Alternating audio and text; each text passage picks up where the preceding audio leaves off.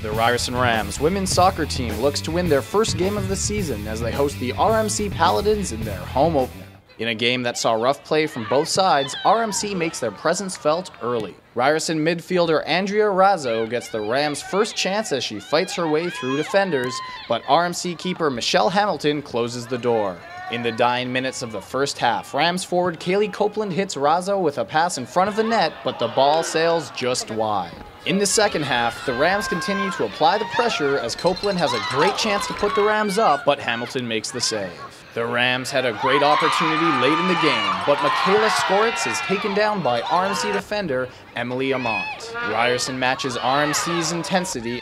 With time running out, RMC striker Laura Gray cuts to the net, but Webster puts her body on the line to make the save. In injury time, the Rams are given a final chance to pull ahead as Raso gets taken out.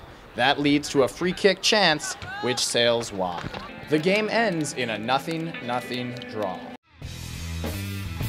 The Rams remain undefeated, but are still in search of their first win in the women's home opener. The Ryerson Rams and RMC Paladins were locked in a defensive battle. Although the Rams were able to keep the ball in RMC's end for the majority of the game, they were unable to capitalize on many offensive chances, leading to a nothing-nothing tie.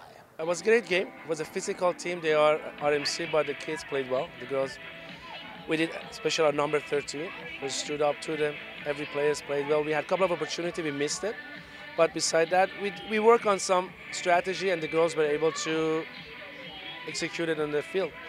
But we have to work more to finish the opportunity we have. But overall, I'm good. The girls played well. For the Ryerson Rams Network, I'm Scott Alexander.